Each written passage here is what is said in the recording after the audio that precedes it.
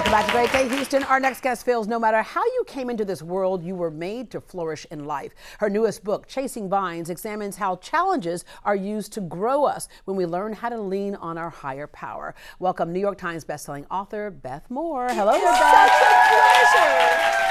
All Thank you for having me. You are so welcome. The first thing she said when I walked over was, "Oh, I want some of that popcorn." So I, listen, ask and ye shall uh, receive. I, I was sitting over here away from everyone. I thought, I'm going to miss my popcorn. No, you are not. Like I said, you. girl, you Thank ask you. and ye shall receive. Yes, amen. All right. Uh, Beth, New York Times bestselling author. So we know where you are, but let's find out where you came from. Yes. Uh, did you grow up in the church? Like a lot of us, I did. we were exposed to it. Uh, I certainly did. And I have to tell you, because I just think this is really fun for us and for all of us uh, Houstonians, I am a Houston yes, girl. Yes. So I've lived here since my high school years. Say hello to everybody who knows you. Yes. I just, I absolutely love the fact that it's my city that I get to be in the first day that this releases. Yes. So it's so feels so right for me. Yes. I love that. Because you know there's yes. somebody at home right now going, is that Beth? I think that is. From high school? And, and all I have to do is I have just have to turn profile with this big hair and this nose and they go, that is Beth. Well, that's totally Texas though too.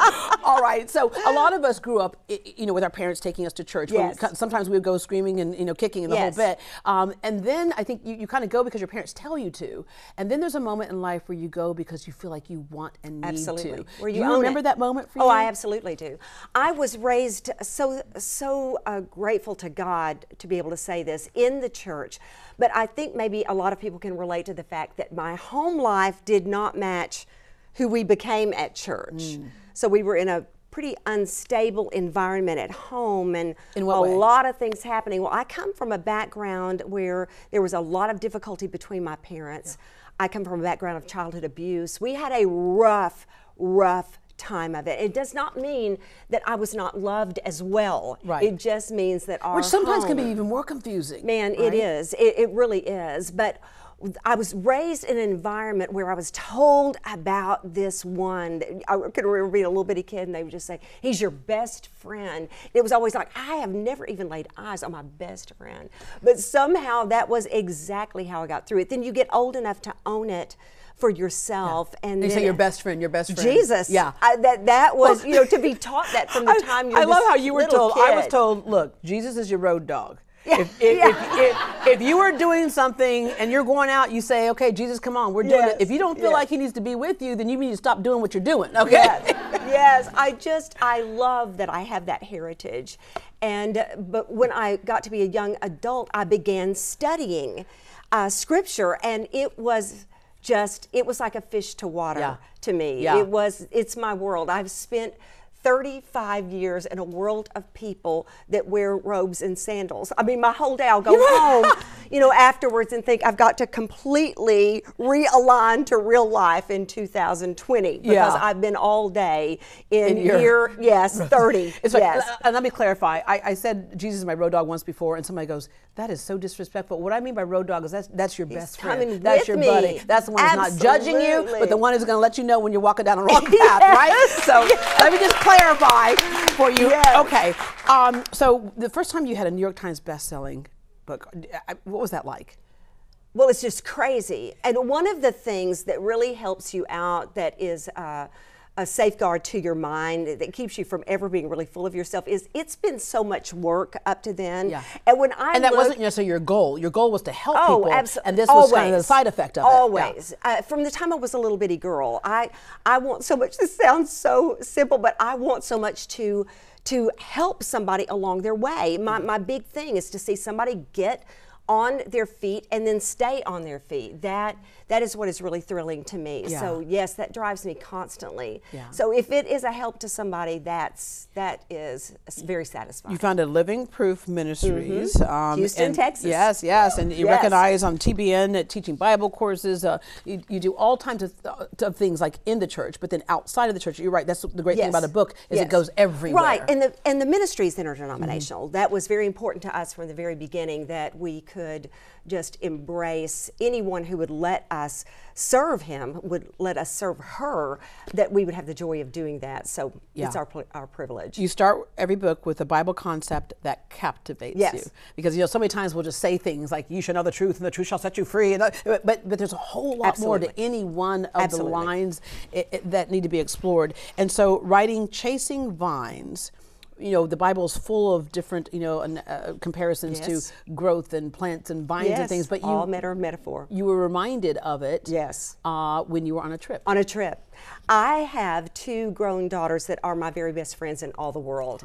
And they also were raised in a household where every couple of weeks I got on an airplane on Friday night and I came back on Saturday Now, night. Now, were they your best friends when they were teenagers? Oh, heaven no. Okay. Yeah. Lord have mercy. I was just going to no. clarify for anyone who had teenage Lord daughters going, mercy. well, lucky her. this is what you have to really, really invest in. But th- thankfully, so often this happens to be true. And so I had wanted all of these years, Deborah, I had been stocking up frequent flyer miles because I wanted it to come back to them for all the times they'd ever said bye to their mama Mm-hmm. and I'd travel somewhere to speak. I wanted to tuck that away and have that come back at them. Yeah. So for years we planned this bucket list trip Well, and trip. it was going to be uh, Italy. We knew that pretty early on. Finally, after years of planning it, I wouldn't take anything for that because all the anticipation. Mm-hmm. We got on the plane and flew over 11 solid days of just touring different places in Italy, but one of the stops, and one I didn't even really think ahead. Were you drinking wine? You know what? We I do I was have just wondering. a I was daughter. like, no, you're taking is- communion. That's what you're doing. You're doing. Yes, you're taking, yes, yes, we Yes. did take some communion, but I have a daughter that is quite knowledgeable about Ah. it. So the other two of us learned from her, and we did go to some tastings because this whole idea completely captured me. We stayed in a little inn, tiny little inn in rural Tuscany, and I. As far as I could see, hill after hill before me were, were vines and vineyards. Yeah. And it was at the very tail end of the harvesting season, so they were clipping the last clusters. And I just fell in love. And what did it for me, there's always this moment. We're talking about a moment that comes. Every single book I've ever written has come with a moment. And for me, this one was when our taxi driver was taking us into Siena. We were about 20 minutes out of Siena. She was taking us into the city, and she loved, she said, I love having Americans because I can practice my English. So, very, very thick Italian accent. And uh, we just fell in love with her. And she said this to me as we were driving through. She adjusted her rearview mirror because she could tell Yeah. I was glued to the Yeah. windows. And she said, Do you want me to tell you something about the grapes? And I said, Yes. And I wish I could do it in her accent because she said it so beautifully and it just dripped with romance. She said, The grapes. She said, The "they- grapes." The grapes. She said, They love the rocky soil. and I learned a concept that day. I mean, it had me, it was done. Yeah. So it led you to John 15. Yes, that that fruit comes from rocky soil. And don't we have some rocky soil? My soil has never been anything but rocky. And I thought, grape, that's my fruit. I, thought, I thought it was watermelon. So And it's a grape. here's the scripture. I am the true vine, and my Father is the gardener. Mm-hmm. He cuts off every branch in me that breaks that bears no fruit, while every branch that does bear fruit, he prunes, so that it will be even more fruitful. Even more fruitful. Yes. And then verse 8 of that same chapter says, It is to your Father's glory that you bear much fruit. And there's fruit, there's more fruit, and then there's much fruit. And it's talking about just increasing in our fruit bearing. And what became so fascinating to me is that truly anything, when you get your head wrapped around the concept that a stressed vine is what is going to bring forth the best wine Right.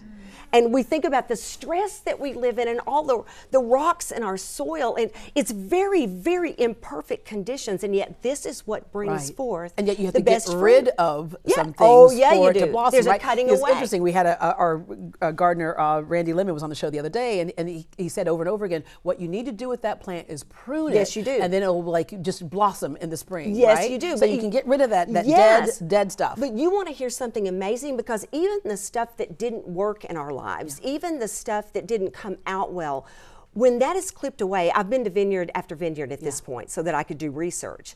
Those are dropped into the soil. So those really, those bad clusters that, man, that sure didn't turn out It out could become well. your foundation of what your it roadmap of what not to do again, in right? your soil and fertilizes that ground and ends up nourishing that vine. There's no end to it. yeah, the, I always the say your- metaphor your, never your breaks down. Greatest lessons come from your toughest times. It's the truth.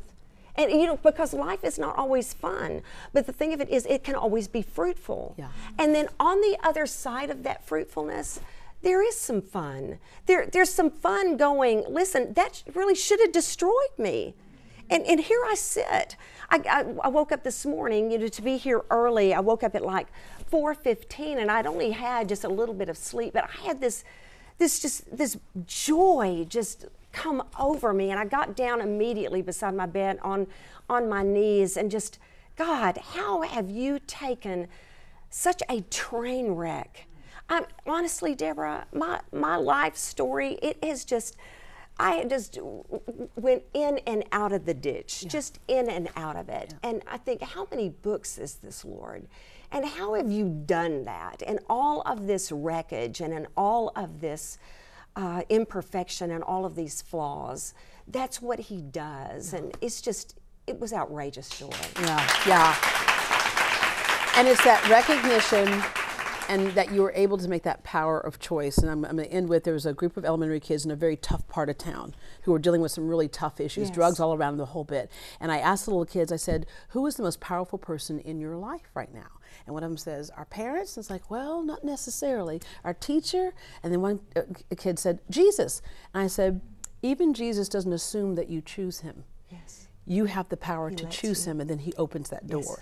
and that's not look their Absolutely. eyes got wide and he goes oh i see how it works now i was like yeah you are the most powerful person in your life. You can make choices. And then if you make that choice to have that person who you can lift it all up to and be your road dog right uh, be beside you it can make all the difference in the world. okay now i know y'all thinking you don't have to go to church on sunday because you just had it. But Beth, I just want to say thank you so much for Oh, what you do, and thank you for sharing. Sometimes people like to present a whole nother life and that it's all been perfect, but when we know that you are more like us, right? We've all been through some stuff, Yes, but we can still get through some stuff. You better believe it. It has been a great pleasure. Yeah, thank you very Great much. pleasure. And welcome Thank back you. home. All right. Beth Moore's book, Chasing Vines, is available for purchase online and where books are sold. For more information on Beth Moore and her ministry, we have a link on greatdayhouston.com. Now go ahead real quick, say say hello to everybody who's saying, Hey, I remember Beth. I, I cannot tell you how great a pleasure it is to be able to say, hey, Houston, you are my city and I love you so much. All right. And everyone in today's audience is going home with a copy of Beth's book. That's right. So there we go.